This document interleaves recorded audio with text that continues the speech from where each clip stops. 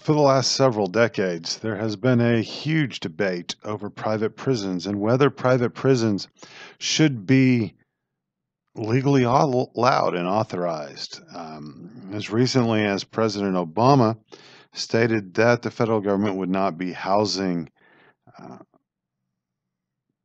specific offenders in private prisons any longer uh, because it was deemed as immoral uh, to make money off of the suffering of offenders. But private prisons have a long, long history. The privatization of correctional authority is not a new concept for the United States prison system. Like its historical predecessors, the contract labor and convict lease systems allowed individuals and allowed companies to create and make money off of the labor of inmates. Um, as long as a company or a producer provided the raw materials, inmates were able to and forced into slave labor or very cheap labor. And most of that money was actually paid to the state, and it helped the state fend off and allay some of the costs involved with imprisoning uh, offenders. Uh, eventually, the reform movements determined that the contract lease and or the contract labor and convict lease systems were unconstitutional and they were ended. Uh, the modern private prison system is a development in response to additional physical considerations it's thought to be a cheaper alternative than the public in prison institutions. Um, despite their expansion, the efficacy of private prisons remains an elusive concept. There is an argument that punishment for violation of societal norms and deviance into criminal activity should be punished by the state and only by the state. Unlike states, it's impossible for cor- corporations to be truly neutral actors because they're primarily mov- motivated by profit. For profit prisons are concerned with the bottom line.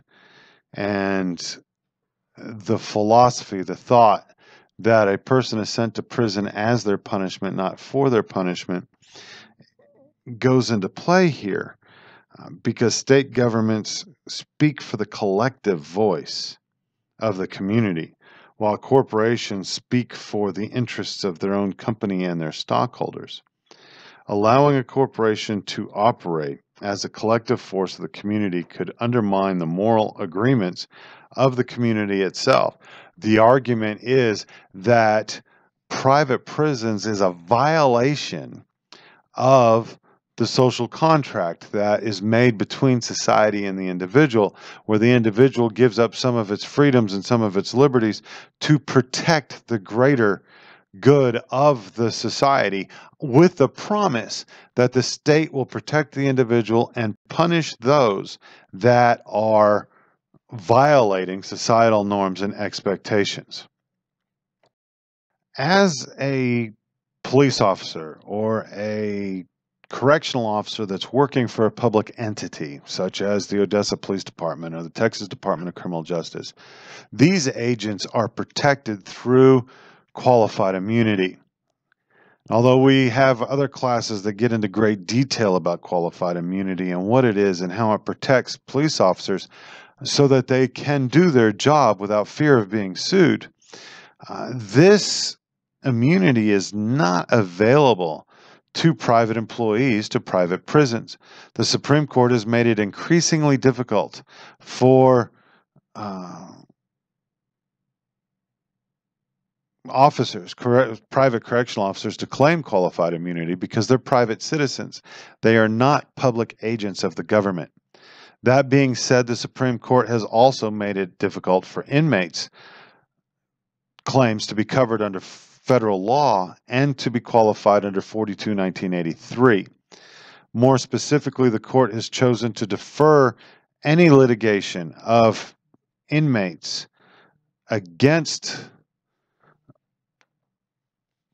private citizens um, must be done in the state court. Only in the event that adequate state tort law is unavailable may the inmate pursue relief under the federal constitution. Also, the prisoner cannot sue the corporation for damages, only the individual that has effectively um, violated their constitutional rights. Okay. Some contend that private prisons are more legally accountable than their public counterparts, which is covered in the next slide. There are those that argue that private correctional officers are under a greater amount of accountability because they are not protected by qualified immunity. And they can and do and are sued in the state tort courts. The majority of evidence speaks to the contrary of this.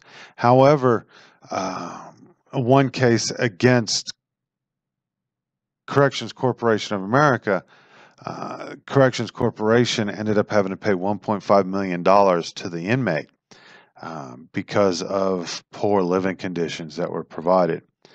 Uh, despite not being afford, afforded qualified immunity protections, private prisons employees uh, still maintain a great deal of protection throughout the in, through insurance coverage, through employer protections. Uh, with a judicially conservative approach of the Supreme Court, these factors are unlikely to change. It's difficult for the states to ensure accountability and oversight among private prisons once the private corporations take control of state inmates, it becomes very difficult for state contracts to be rescinded. Not only are monitoring mechanisms ineffective due to political considerations and transparency issues, it is difficult for the states to resume control in the event that abuse or neglect is covered. Gentry in 1986 referred to this issue as the entrenchment problem. Once private firms win a contract, they quickly become entrenched in the state's correctional system. Ultimately, the states that have contracted with private firms may not have the ability to resume control of the contract uh, until the contract has been completed. Uh, competition is unlikely to be effective as two corporations own more than 75% of the market share. Those two corporations are Corrections Corporation of America, and GEO. Uh, we do have GEO prisons just down the street in Big Spring, Texas. Low visibility coupled with the discretionary nature of private correctional management uh, is a recipe for disparity, and there is no overall appearance of accountability uh, that has made it into the research. Overall, the comparative research on public and private prisons is rather limited. There is no hard empirical evidence that says private prisons will save the government money. I know when I worked for Corrections Corporation of America, we charged the federal government uh, $90 a day per inmate uh, with a guarantee that they would keep the prison at three quarters full. If they could not keep the prison at three quarters full, the federal government had to pay uh, the remainder of the contract.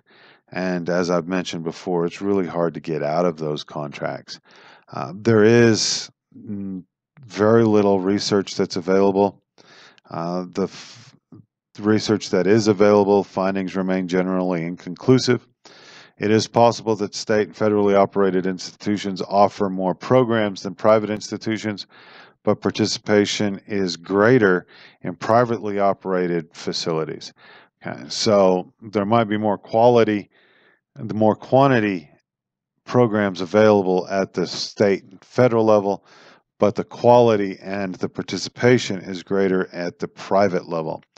The researchers have found that private facilities are not as crowded they generally have lower rates of inmate assaults and homicides, even when controlling for security level. Even so, these findings remain tentative. The inconsistency is more than likely the result of the lack of the available data on private institutions because they're very secretive. They don't share a whole lot of their information. It will be necessary for researchers to obtain greater access to financial information of these private companies and utilize stronger methodological techniques in future studies to verify the conclusions of the research. Politicians and researchers alike should push for increased public access to the information from privately run institutions to find out if it is actually saving the government money by having the private institutions run the prisons.